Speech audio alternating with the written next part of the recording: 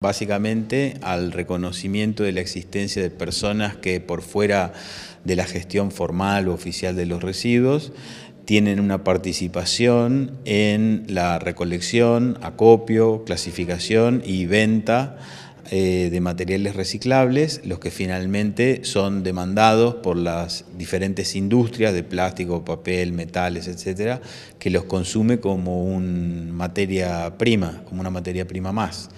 Mm, de esta manera se produce eh, digamos, un impacto ambiental interesante porque se disminuyen las cantidades de los residuos que van a disposición final, eh, si no existiera esta actividad y estas personas, y además porque, como dije antes, les llegan insumos reciclables a las industrias que de no tenerlos tendrían o bien que importarlos o bien que eh, abastecerse de materia prima virgen y entonces hay una contribución ambiental en esta tarea.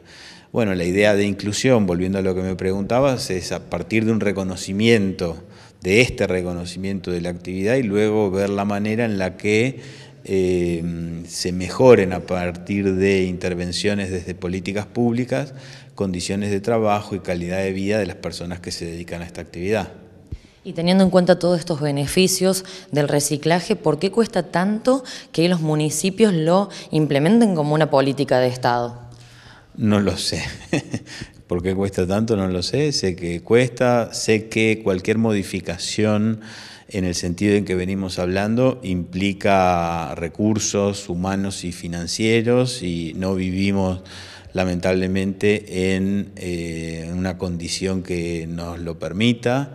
Eh, los presupuestos de los municipios son acotados o limitados y hay un esquema fuertemente armado eh, para que, como te decía antes, el presupuesto para todo lo que es eh, gestión de residuos esté concentrado fundamentalmente en la recolección, en la recolección indiscriminada, no en una recolección diferenciada.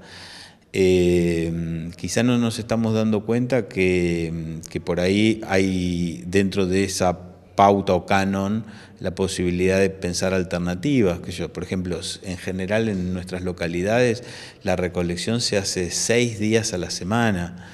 Eh, pareciera ser esa una situación como muy holgada, no sé si es necesaria y se pueden pensar alternativas.